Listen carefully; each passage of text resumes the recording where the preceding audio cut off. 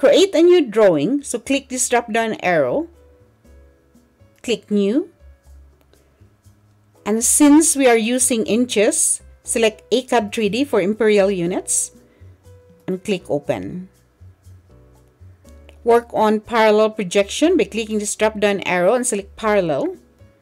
Now I'm going to open my reference drawing and just hover over and I have this one ready. So click this one. I'm going to work uh, side by side. So go to view, click tile vertically. I'm just going to adjust my screen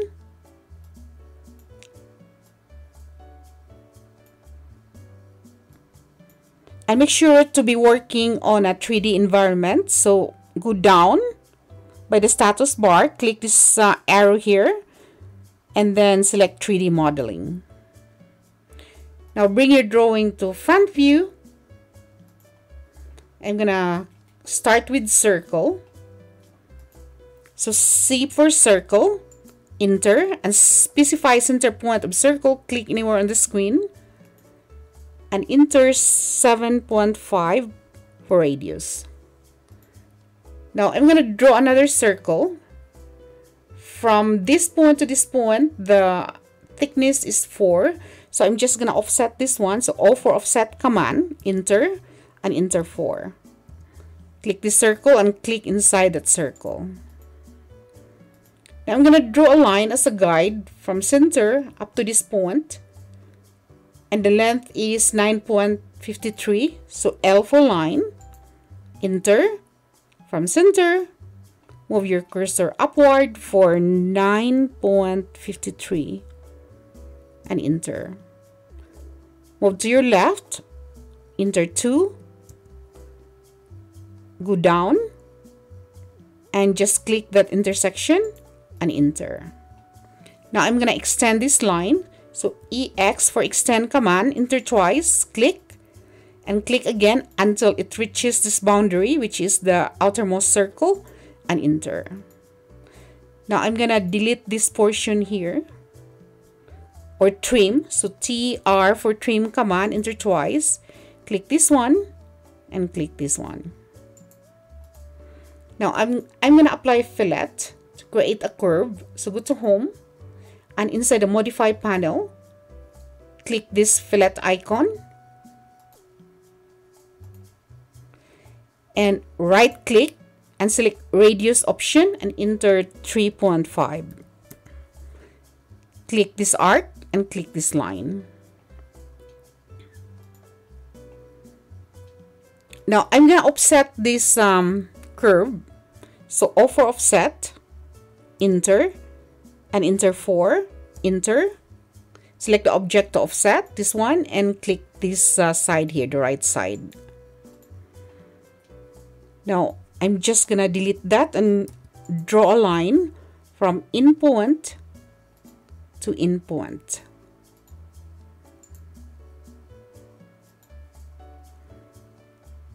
is it straight does it look straight line in point to in point. All right. Now I'm going to create a line, a mirror line from the center of the circle. So L for line, shift right click and select center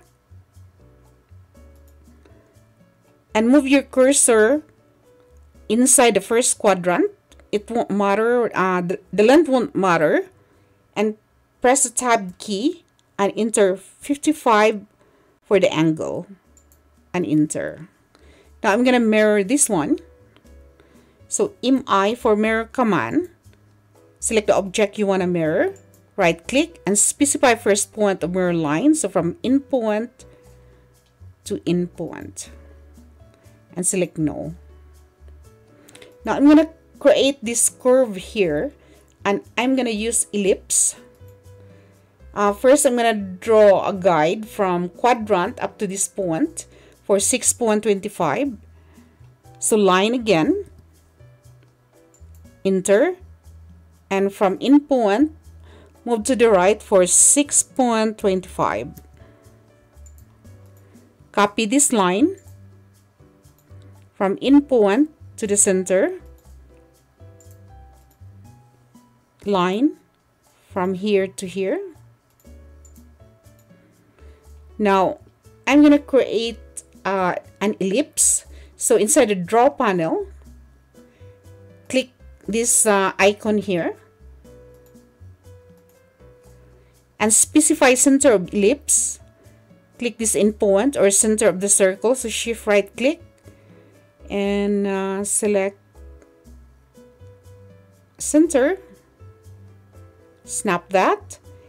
And specify endpoint of axis so click this endpoint and click this endpoint oh, again. Center. Endpoint and this endpoint all right now I'm gonna trim. So TR for trim command enter twice. I don't need this one. I don't need that. Trim that and trim this one. And enter. Trim again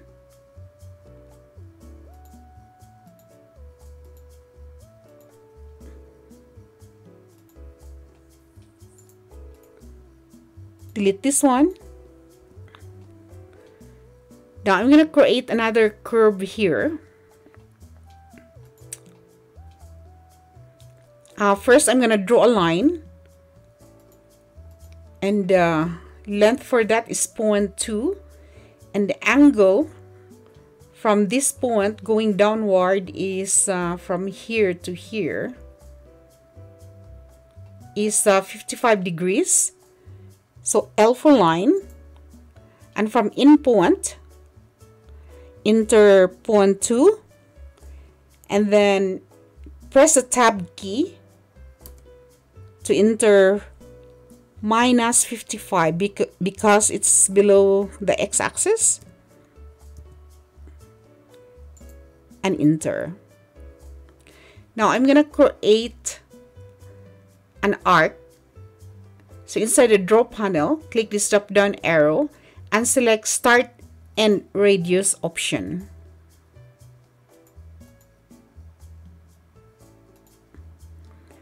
So click this endpoint, this endpoint, and the radius is 6.5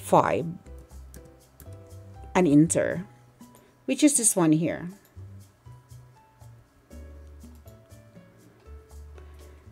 Now what I'm to do is okay I can remove that. Or trim first trim. Trim this one and this one and delete these uh, two lines. Now I'm gonna copy three make two copies of this one. So copy here and here because I'm gonna cut uh, this one here, uh, this one here separately and this one and this one. So trim, remove that and remove this one.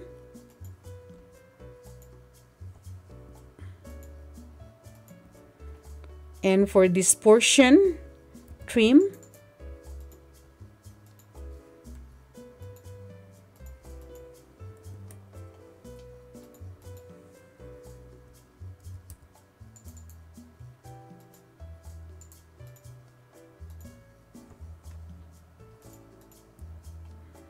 and for this one I'm gonna remove that.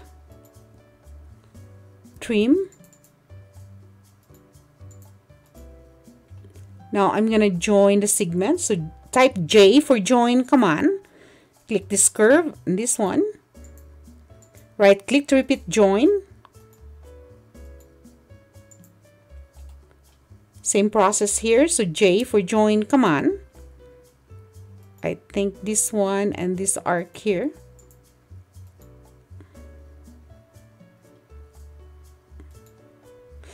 Before we proceed, please make sure to turn on your dynamic input, polar tracking, object snap tracking, object snap, selection cycling, and uh, I think that's it.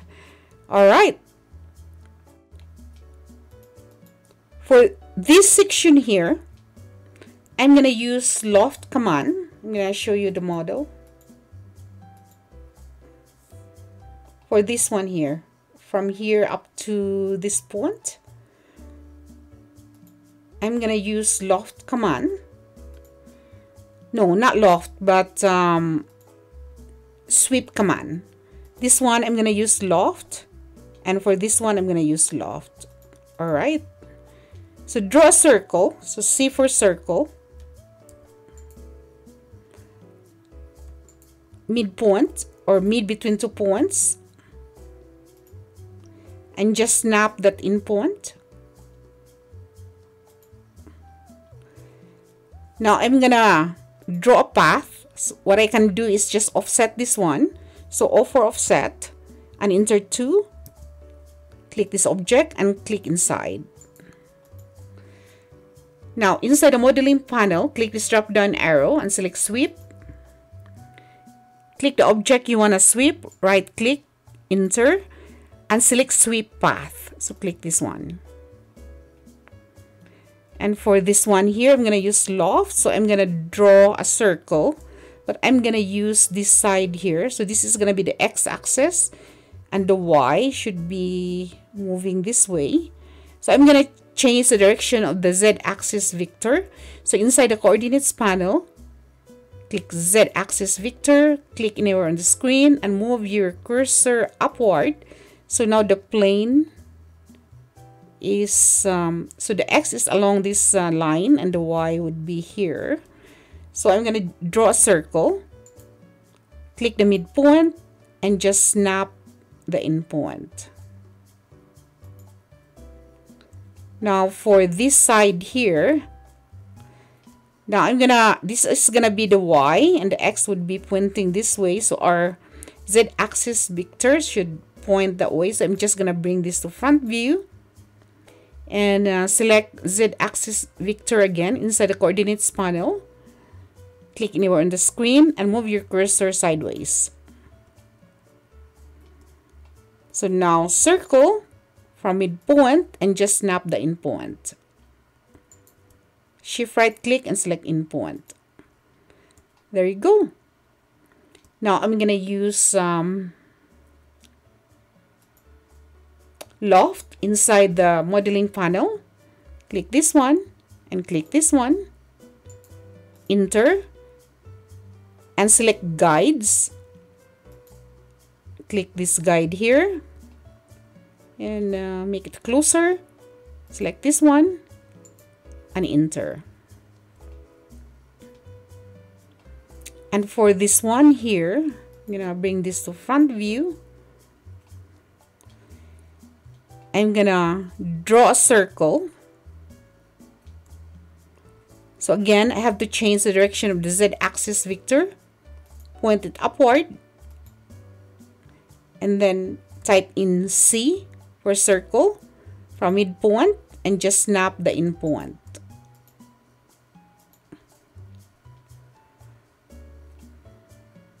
And for this one here, I have to change, I have to uh, create a line perpendicular to this line. So I could point my z-axis vector perpendicular to this line. So L for line from midpoint, move, move your cursor to that direction. I'm to bring this to front view first. So I won't make a mistake. Okay, line from midpoint move your cursor to the right, slightly above the x-axis, and um, press the tab key and enter 35. As shown here. Now I can change the direction of the z-axis vector. So select z-axis vector inside the coordinates panel click uh, this endpoint and move your z-axis to this direction and as you can see the plane uh, changes Now, I'm going to create a circle from midpoint. So shift right click and select uh, midpoint. So that midpoint and just snap that uh, in point. There you go. Now I could erase this one now and uh, bring my drawing to Southwest Isometric and click the globe, this one, to set the current user coordinate system to the world coordinate system. Now it's back to normal. The UCS is, the plane is uh, direct, directing, I mean the x-axis vector is going that way, y and z-axis vector is uh, going upward. Now I'm to use loft. Command and click this uh, circle. And click this circle. Enter. And select guides. Click this guide here and the second one here. And enter. I'm just gonna try I'm gonna move this one from the center of the object to the center of the object here.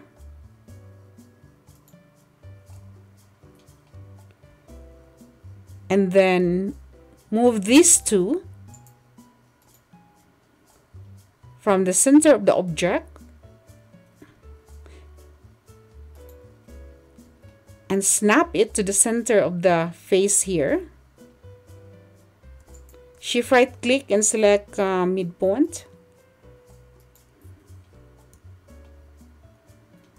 All right and I'm gonna union the objects. So inside the solid editing panel select union command now this is one object now I'm gonna create another circle and extrude it up to this point and the height is 8 and our z-axis vector is pointing upward so we're good so C for circle. And from the center, enter D for diameter option and enter 3. Now select that circle and select extrude command inside the modeling panel. Click this drop down arrow and select extrude and enter 8 units as shown here. Now I'm to bring my drawing to front view I'm just gonna change this to wireframe now I'm gonna create this uh, slot and the distance between the center of these two arcs is um, 0.5 so I'm just gonna draw a line easier. So 0.5 and draw a circle. And the radius for that is 0.25 so C for circle. Right click to enter. Specify center point. So this in point. And enter 0.25 same process. Repeat circle in point and enter 25 for radius. Now draw a line from quadrant to quadrant. Draw another line quadrant to quadrant. Now trim command, so TR for trim command, enter twice. And just window this option, or this um, uh, portion and delete that. Now I'm going to join the segments. So J for join command, enter and just select the whole thing. Now the distance from the midpoint here or the center of the face to the center of the object is um, 2, this one here. So I'm just gonna draw a guide, so line from the center of the face, move it downward for 2 units. Now I'm gonna move this one. I'm just gonna turn off the grid.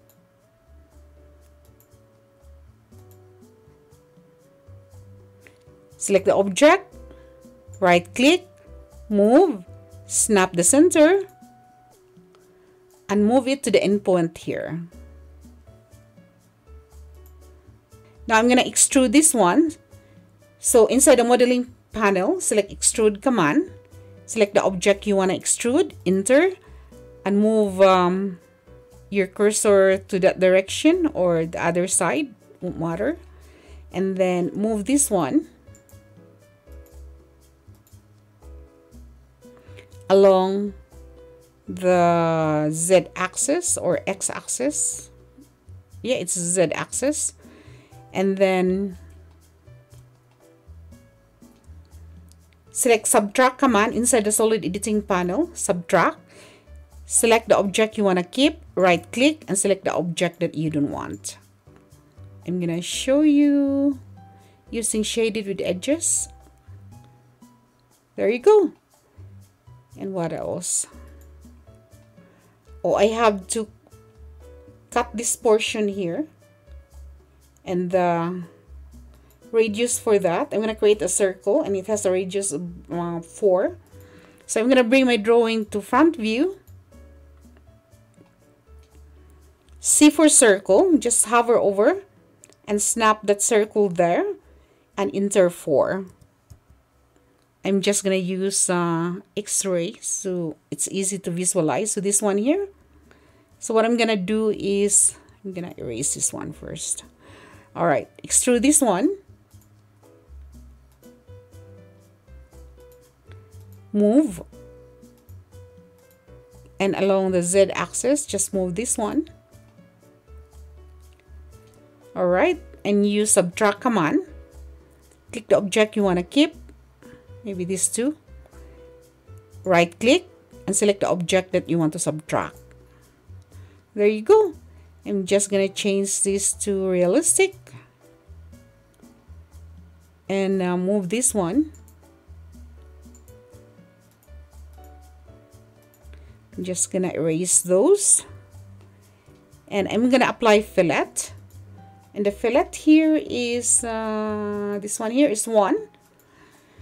So go to solid and select fillet edge. Right click and select radius option and enter 1 and uh, right click again and select uh, chain.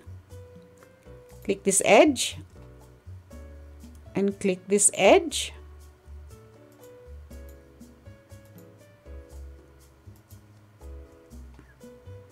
and click that edge enter and enter again I'm just gonna erase that. I'm gonna maximize this one. And I think we are done. So thanks for watching. Oh wait, I have to apply fillet here. View, tile vertically. Move this one to the other side. And I think the fillet here is 0.1. Apply fillet uh, on this edge. So go to home, uh, click solid, select fillet edge, uh, go down to the command window or you just could right click, click radius and select uh, point 1, enter and select this edge. Enter twice.